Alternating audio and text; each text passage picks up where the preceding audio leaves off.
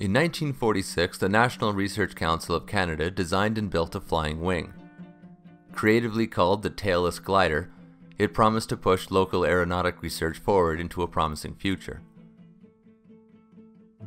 The NRC tailless glider is part of the history of research into swept wing and flying wing designs that has its roots in England.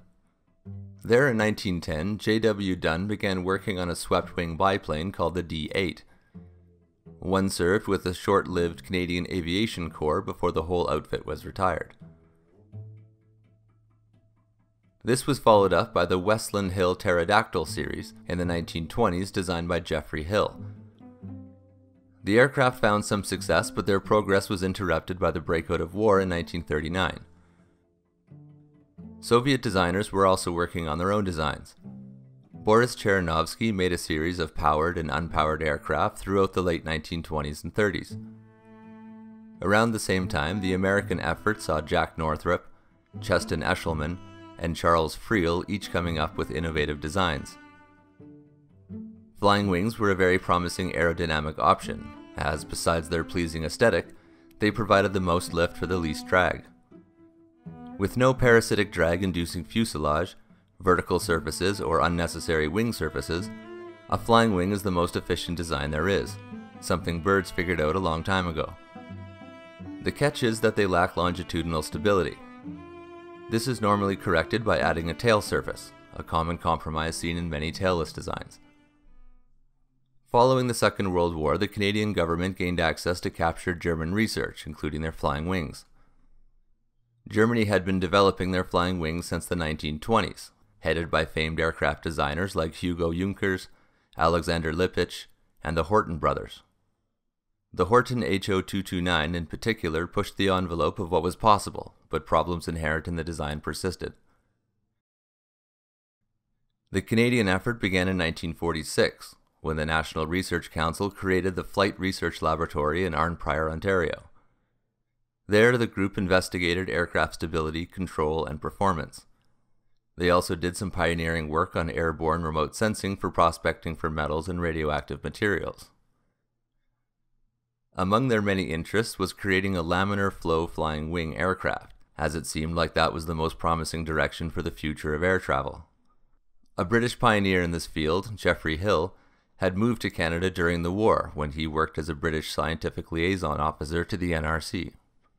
He had previously created the successful pterodactyl series of flying wings as previously mentioned. After the war, he was contracted to help design a new flying wing for Canada. It would take advantage of all the previous research made into swept wings and laminar flow airfoils. The horribly named NRC tailless glider was built in Ottawa at the National Research Laboratories in 1946. The glider had a wingspan of 14 meters and a weight of 1,700 kilograms. It was crewed by a pilot sitting on the left and an observer co pilot on the right in bubble canopies. It had retractable landing gear and a pair of landing skids tucked under the wings for emergencies. The center section incorporated a large split flap, the outermost 1.2 meters of the wings were able to pivot 13 degrees. This was done to adjust the lift distribution at the wingtips and provide better longitudinal stability. This was quite the innovation for the time. Directional control was provided by elevons and small rudders at the wingtips. It was made of wood with a smooth epoxy finish.